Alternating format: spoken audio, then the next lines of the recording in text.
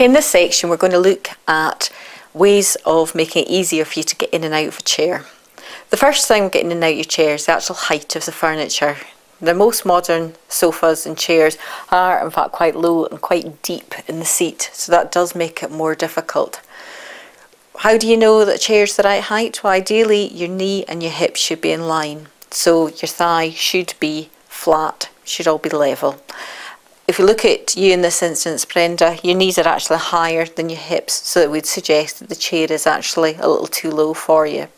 If you want to try and get out of that, we'll show you the best method, and that is to get your bottom closer towards the edge of the chair. Make sure that your feet are firmly placed, slightly apart, with one foot slightly in front of the other. If you lead up with your head, and if your chair has arms, just push up from those. Okay. So that's showing it from a chair which is slightly too low. We like to move across. We have a chair here, the same chair, which has been raised.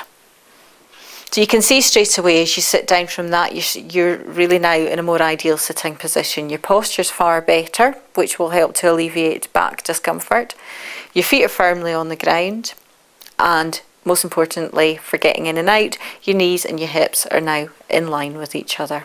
So again, same technique, pushing up.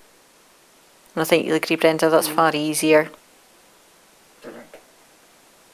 Okay, so this chair you can see has been fitted with uh, proper chair raisers. These are made for this purpose. What you don't want to do is put blocks under your chair because this will affect the stability of the chair and the safety. It's not unusual in that circumstances for the chair to topple off of blocks. So always use some of the chair raisers that are available on the market and again if you need advice to make sure that you're getting the right one for your individual chair or sofa.